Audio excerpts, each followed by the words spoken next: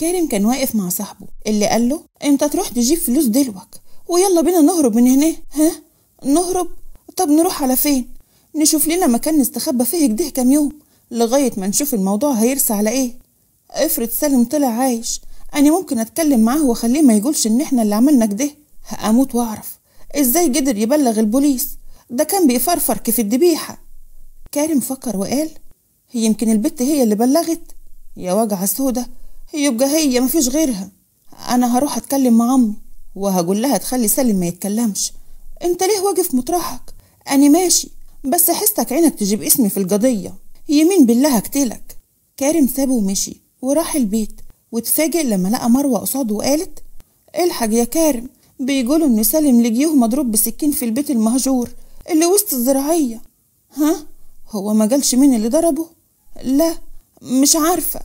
طب أنا طالع اخد هدوم ورايح لهم المستشفى. لو حد جه سأل عليا ما تقوليش إني رجعت. كارم خلص كلامه وجري على أوضته واخد شنطة هدومه ومشي. كارما رجعت البيت وكانت صفاء مستنياها وقالت هنعمل إيه يا كارما وهنروح فين؟ اللي عرفت إن اللي أجر الأوضة دي هو عمك سيد منه لله. عمي؟ وده عرف مكاننا منين؟ قطع كلامهم صوت الباب ولما كارما فتحت اتفاجئت لما لقيت نوال داخلة وقالت هم عشة فراخ. لايقة عليكم قوي. صفاء وقفت وبصت لها بغيظ وقالت لها ملكيش دعوة. أهي عشة الفراخ دي وأنا في حضن بنتي أحسن مليون مرة من أي بيت تاني. نوال قربت من كارما وقالت المعلم رجب طلق مراتاته وعاوز يتجوزك وبعتني عشان أرجعك. إيه رأيك؟ ابعدي عني وسيبيني في حالي. أنتوا إيه ما بتخافوش ربنا؟ المعلم رجب هيدفع لأمك الكحيانة دي عشر تلاف جنيه وهيدفع إيجار الأوضة دي كمان. أنا ما بيعش بنتي ولو بكنوز الدنيا روحي جوزيه لبنتك ولا لأي واحدة تانية. براحتكم. عموما أنا بيتي ما يتوهش. لما تنطردوا في الشارع وما تلاقوش بيتي لأمكم ابقوا كلموني. الشارع أهون مليون مرة من بيت الحية وجوزها. نوال اتغاظت من كلامها وسابتهم ومشيت. وكارما قعدت تعيط وقالت أنا تعبت. الدنيا ماشيه تخبط فينا. وإحنا ما عملناش حاجة. ما تزعليش يا كارما ربنا كريم وفرجه قريب وهو أكيد مش هيسيبنا كده. وبعد كام ساعة الباب خبط وكارما فتحت واتفاجئت لما لقيت حمزة قدامها. وقال لها يلا يا كارما جهزي حاجتك ويلا بينا. حمزة بيه هو أنت جاي ليه؟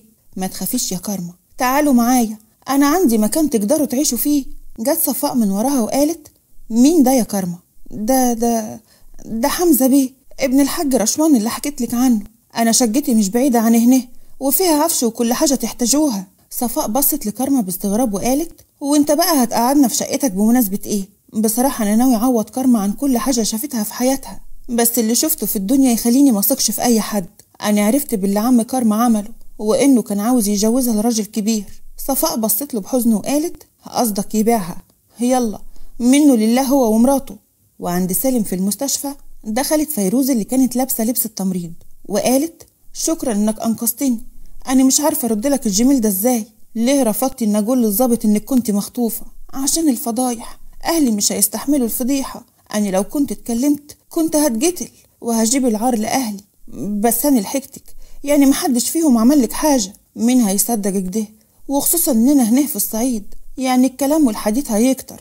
الحمد لله إنها عدت على خير. أنا كمان في التحقيق ما قدرتش أقول مين اللي عملك ده عشان كريم يبقى أخوك. صح؟ أيوة.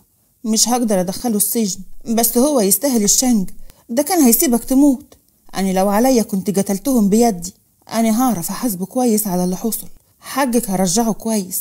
قطعهم دخول نجاة اللي جريت على سالم.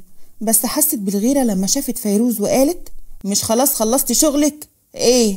إيه اللي موقفك هنا؟ أنا أني كنت ماشية. لو احتجت حاجة اضغط على الزرار ده مش هيحتاج. اتفضلي انتي أنا معاه.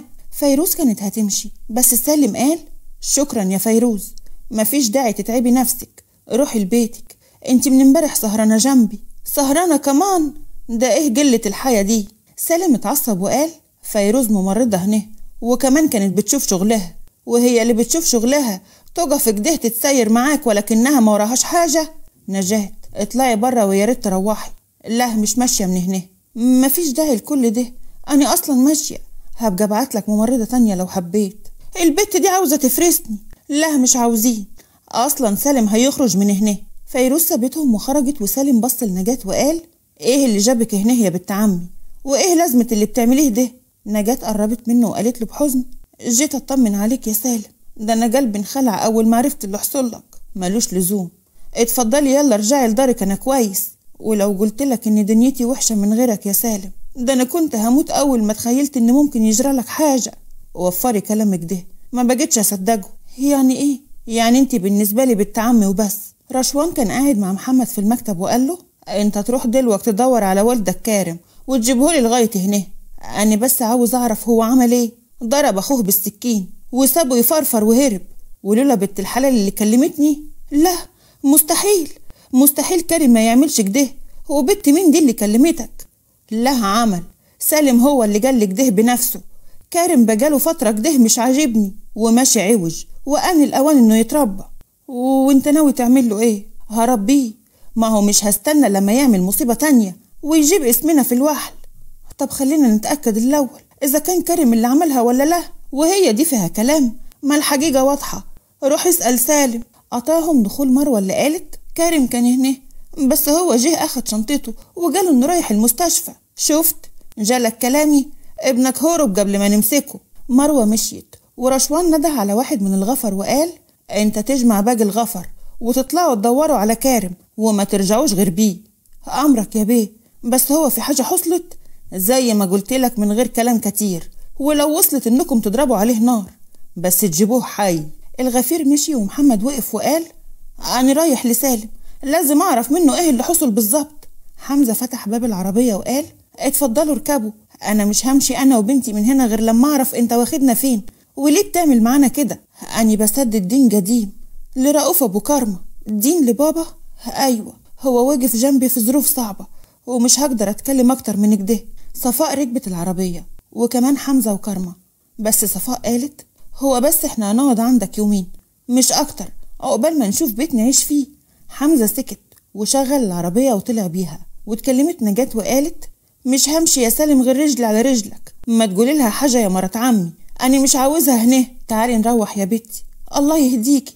زمان أبوكي هيطربك الدنيا إن سبتك تيجي هنا.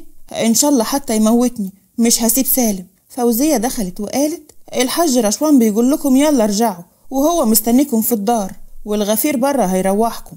أنا ما عايزاش أمشي وأسيب سالم. بقول لك إيه يا بنت خديجة؟ سيبينا في حالنا بقى. بكفاية اللي حصل من تحت راسك.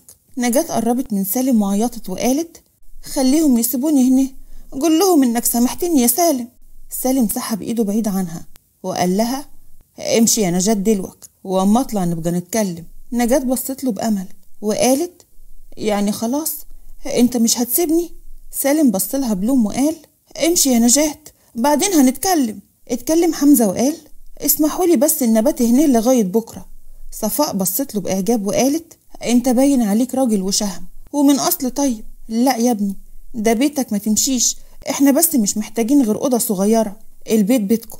اقعدوا براحتكم. أنا أصلا الفترة دي مشغول في الشغل ومش هرجع البيت غير على النوم. ده لو ما كانش يضايقكم. كارما قربت منه وقالت شكرا يا حمزة بيه بس أنا كان ليا عندك طلب. لو ينفع تشوف لي شغل. طبعا من بكرة تقدري تنزلي الشغل معايا.